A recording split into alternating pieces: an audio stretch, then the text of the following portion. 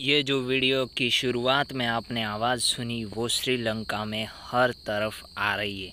राष्ट्रपति मोलदीव भाग श्रीलंका ने आपतकालीन की घोषणा की है और नागरिकों रूप में तैन्य सेना अब सड़कों पर उतरेगी और पीएम राष्ट्रपति के रूप में कार्य करेंगे, लेकिन नागरिक चाहते हैं कि सरकार बदल जाए।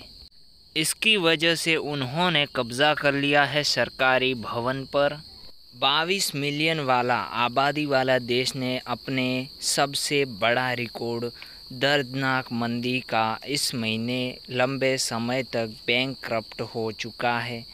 काफ़ी ज़्यादा मंदी हो चुकी है श्रीलंका। काफ़ी ख़तरनाक हालात में अभी इस वक्त श्रीलंका है। श्रीलंका के लोगों को भी काफ़ी ज़्यादा मुश्किलें आ रही है।